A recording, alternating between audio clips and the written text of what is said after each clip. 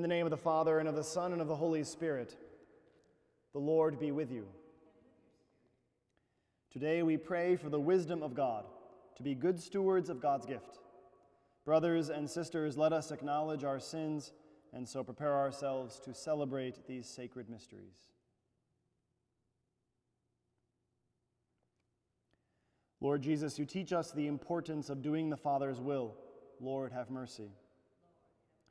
Christ Jesus, you open our eyes to those things which lead to eternal life. Christ, have mercy. Lord Jesus, you lead us on the path that leads us to your Father's house. Lord, have mercy. May Almighty God have mercy on us, forgive us our sins, and bring us to everlasting life. Glory to God in the highest, and on earth peace to people of good will.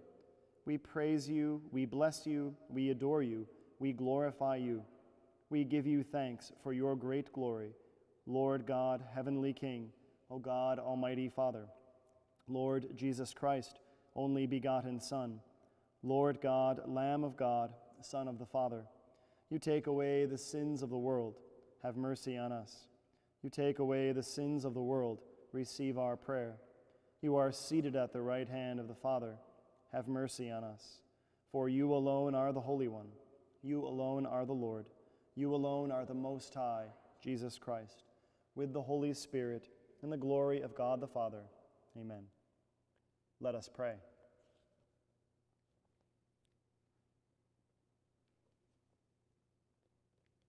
O God, protector of those who hope in you, without whom nothing has firm foundation, nothing is holy. Bestow in abundance your mercy upon us, and grant that with you as our ruler and guide, we may use the good things that pass in such a way as to hold fast even now to those that ever endure. Through our Lord Jesus Christ, your Son, who lives and reigns with you in the unity of the Holy Spirit, one God, forever and ever.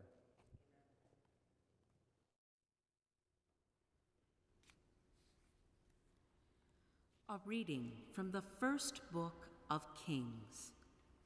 The Lord appeared to Solomon in a dream at night. God said, Ask something of me, and I will give it to you. Solomon answered, O Lord, my God, you have made me your servant, king to succeed my father David. But I am a mere youth, not knowing at all how to act. I serve you in the midst of the people whom you have chosen, a people so vast that it cannot be numbered or counted. Give your servant, therefore, an understanding heart to judge your people and to distinguish right from wrong. For who is able to govern this vast people of yours? The Lord was pleased that Solomon made this request. So God said to him, Because you have asked for this, not for a long life for yourself, nor for riches, nor for the life of your enemies, but for understanding, so that you may know what is right. I do as you requested. I give you a heart so wise and understanding that there has never been anyone like you up to now, and after you there will come no one to equal you. The word of the Lord. Thanks be to God.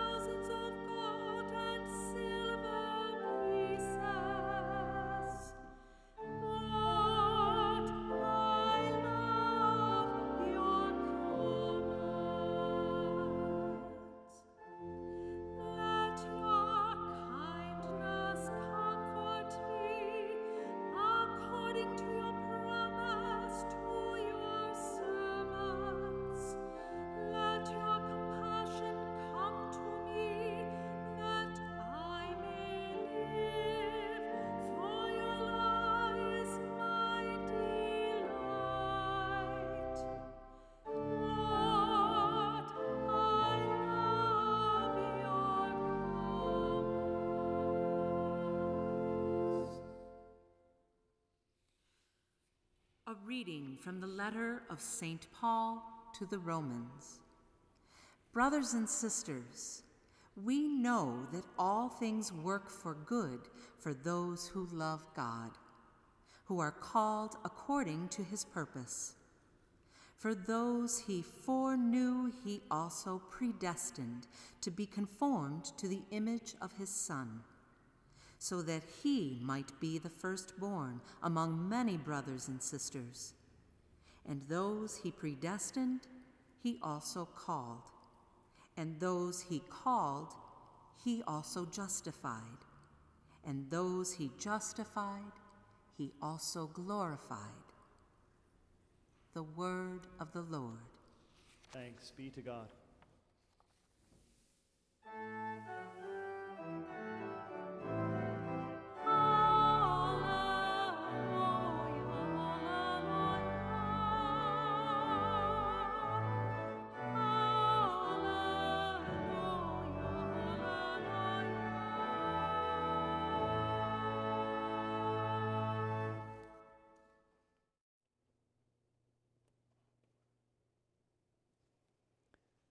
The Lord be with you.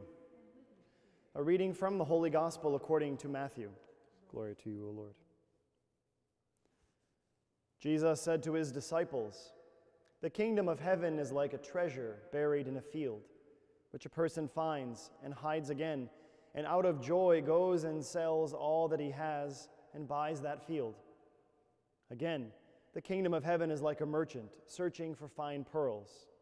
When he finds a pearl of great price, he goes and sells all that he has and buys it. Again, the kingdom of heaven is like a net thrown into the sea, which collects fish of every kind. When it is full, they haul it ashore and sit down to put what is good into buckets. What is bad, they throw away. Thus it will be at the end of the age. The angels will go out and separate the wicked from the righteous and throw them into the fiery furnace where there will be wailing and grinding of teeth. Do you understand all these things? They answered, Yes. And he replied, Then every scribe who has been instructed in the kingdom of heaven is like the head of a household who brings from his storeroom both the new and the old. The Gospel of the Lord. Praise, Praise to you, Jesus.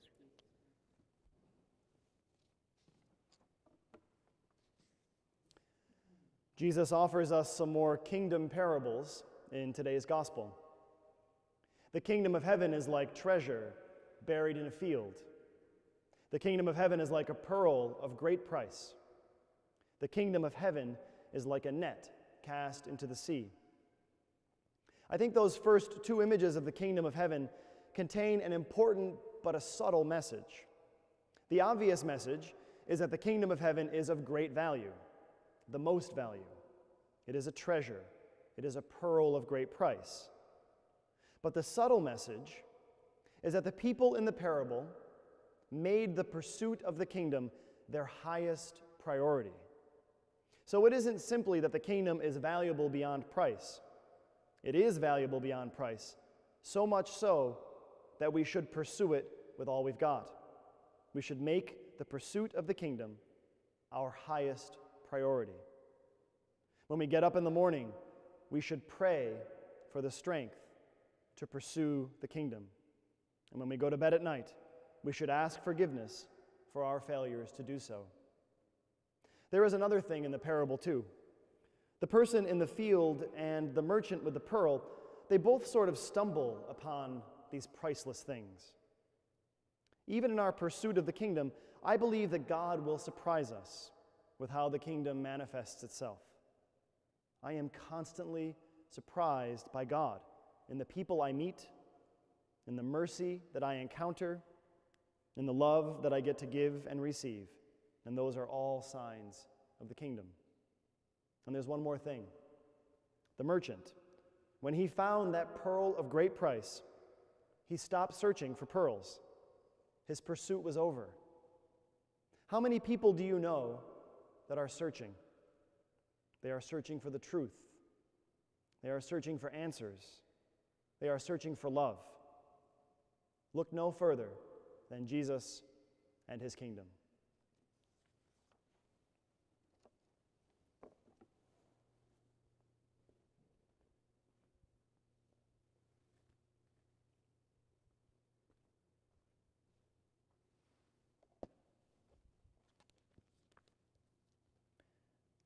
I believe in one God, the Father Almighty, maker of heaven and earth, of all things visible and invisible. I believe in one Lord, Jesus Christ, the only begotten Son of God, born of the Father before all ages, God from God, light from light, true God from true God, begotten, not made, consubstantial with the Father. Through him all things were made. For us men and for our salvation, he came down from heaven, and by the Holy Spirit was incarnate of the Virgin Mary and became man. For our sake he was crucified under Pontius Pilate. He suffered death and was buried, and rose again on the third day in accordance with the Scriptures. He ascended into heaven and is seated at the right hand of the Father. He will come again in glory to judge the living and the dead, and his kingdom will have no end. I believe in the Holy Spirit, the Lord, the giver of life, who proceeds from the Father and the Son, who with the Father and the Son is adored and glorified who has spoken through the prophets. I believe in one holy, Catholic, and apostolic church. I confess one baptism for the forgiveness of sins, and I look forward to the resurrection of the dead and the life of the world to come. Amen. In prayer, let us come to the Lord and seek the hidden treasure, the pearl of the kingdom. For our Pope and bishops, as they work for the coming of God's kingdom on earth, we pray to the Lord. Lord, Lord hear, hear, our, our, prayer. prayer. For the leaders of nations afflicted by poverty, famine, and injustice, we pray to the Lord. Lord, hear our prayer. For those working for a fair distribution of the food and resources of the earth, we pray to the Lord. Lord, hear our prayer. For our own efforts to choose the hidden treasure of personal faith and prayer, we pray to the Lord. Lord, hear our prayer. For the souls of the faithful departed, we pray to the Lord. Lord, hear, our, prayer. prayer. God of provident love, you call people into your kingdom. You make all things work to their good. We are confident that you hear our prayers and that you will grant our requests through Christ our Lord. Amen.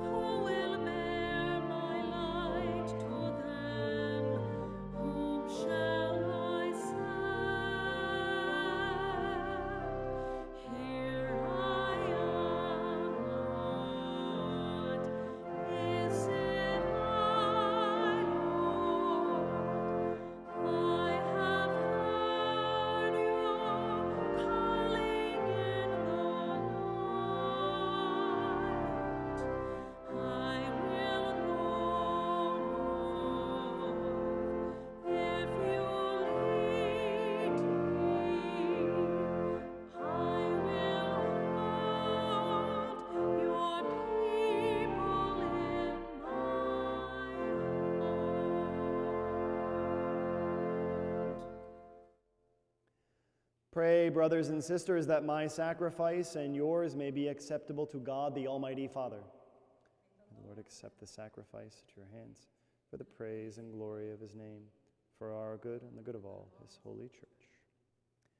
Accept, O Lord, we pray, the offerings which we bring from the abundance of your gifts, that through the powerful working of your grace, these most sacred mysteries may sanctify our present way of life and lead us to eternal gladness through Christ our Lord.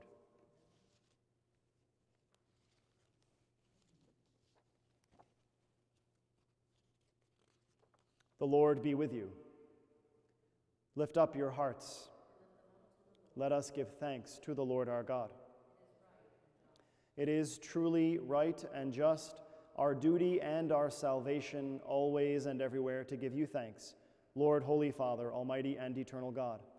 For we know it belongs to your boundless glory that you came to the aid of mortal beings with your divinity, and even fashioned for us a remedy out of mortality itself, that the cause of our downfall might become the means of our salvation through Christ our Lord. Through him, the host of angels adores your majesty and rejoices in your presence forever. May our voices, we pray, join with theirs in one chorus of exultant praise as we acclaim.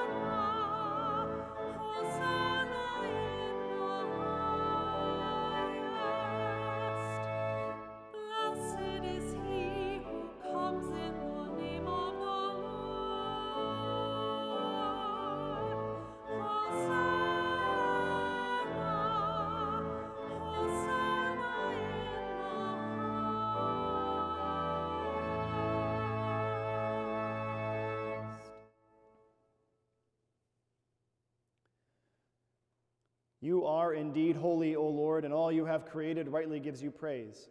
For through your Son, our Lord Jesus Christ, by the power and working of the Holy Spirit, you give life to all things and make them holy. And you never cease to gather a people to yourself, so that from the rising of the sun to its setting, a pure sacrifice may be offered to your name. Therefore, O Lord, we humbly implore you by the same Spirit, graciously make holy these gifts we have brought to you for consecration, that they may become the body and blood of your Son, our Lord Jesus Christ, at whose command we celebrate these mysteries.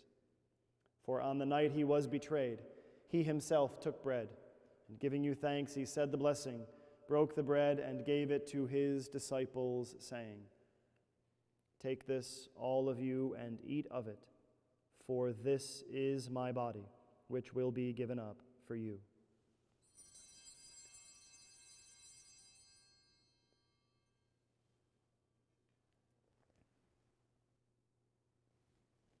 In a similar way, when supper was ended, he took the chalice, and giving you thanks, he said the blessing and gave the chalice to his disciples, saying, Take this, all of you, and drink from it, for this is the chalice of my blood, the blood of the new and eternal covenant, which will be poured out for you and for many for the forgiveness of sins.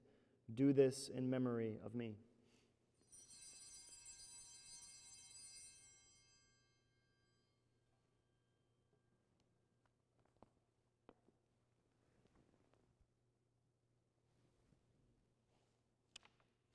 The mystery of faith.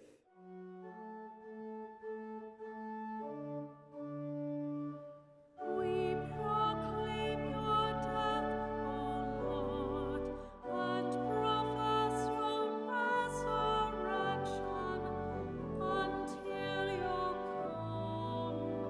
come again. Therefore, O Lord, as we celebrate the memorial of the saving passion of your Son, his wondrous resurrection and ascension into heaven, and as we look forward to his second coming, we offer you in thanksgiving this holy and living sacrifice. Look, we pray upon the oblation of your church, and recognizing the sacrificial victim by whose death you willed to reconcile us to yourself, grant that we who are nourished by the body and blood of your Son and filled with his Holy Spirit may become one body, one spirit in Christ. May he make of us an eternal offering to you, so that we may obtain an inheritance with your elect, especially with the most blessed Virgin Mary, Mother of God, with blessed Joseph, her spouse, with your blessed apostles and glorious martyrs, and with all the saints, on whose constant intercession in your presence we rely for unfailing help. May this sacrifice of our reconciliation, we pray, O Lord, advance the peace and salvation of all the world. Be pleased to confirm in faith and charity your pilgrim church on earth, with your servant Francis, our Pope, and Robert, our Bishop, the order of bishops, all the clergy, and the entire people you have gained for your own. Listen graciously to the prayers of this family, whom you have summoned before you, In your compassion, O merciful Father, gather to yourself all your children scattered throughout the world. To our departed brothers and sisters, and to all who were pleasing to you at their passing from this life, give kind admittance to your kingdom. There we hope to enjoy forever the fullness of your glory. Through Christ our Lord, through whom you bestow on the world all that is good.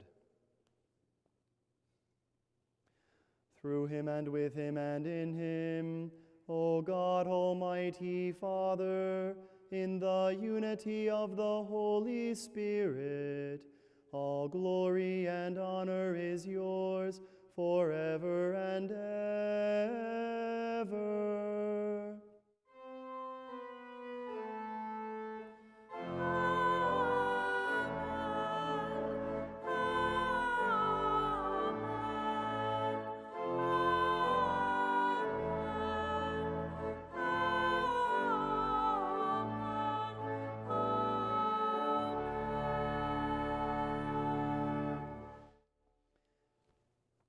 At the Savior's command and formed by divine teaching, we dare to say, Our Father, who art in heaven, hallowed be thy name. Thy kingdom come, thy will be done, on earth as it is in heaven. Give us this day our daily bread, and forgive us our trespasses, as we forgive those who trespass against us. And lead us not into temptation, but deliver us from evil. Deliver us, Lord, we pray, from every evil.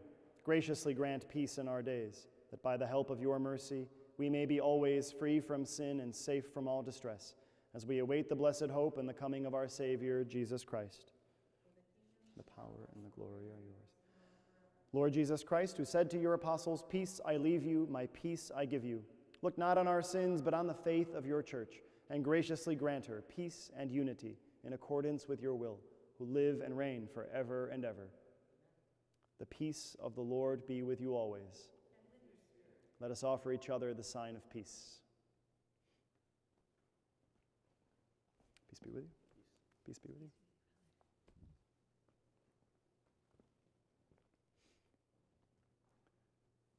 Lamb of God, you take away the sins of the world. Have mercy on us. Lamb of God, you take away the sins of the world. Have mercy on us. Lamb of God, you take away the sins of the world. Grant us peace.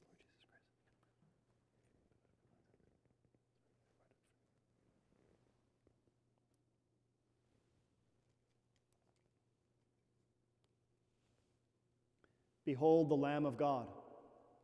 Behold him who takes away the sins of the world. Blessed are those called to the supper of the Lamb. Lord, I am not worthy that you should enter under my roof, but only say the word, and my soul shall be healed. May the body of Christ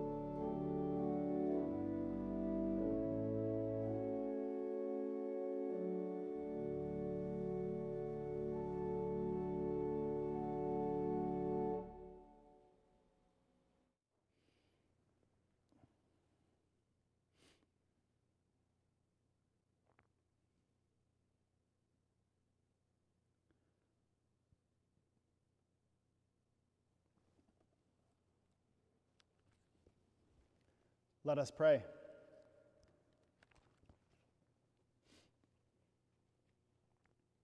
We have consumed, O Lord, this divine sacrament, the perpetual memorial of the passion of your Son. Grant, we pray, that this gift, which he himself gave us with love beyond all telling, may profit us for salvation. Through Christ our Lord. The Lord be with you. May Almighty God bless you, the Father, the Son, and the Holy Spirit. Go in peace, glorifying the Lord by your life.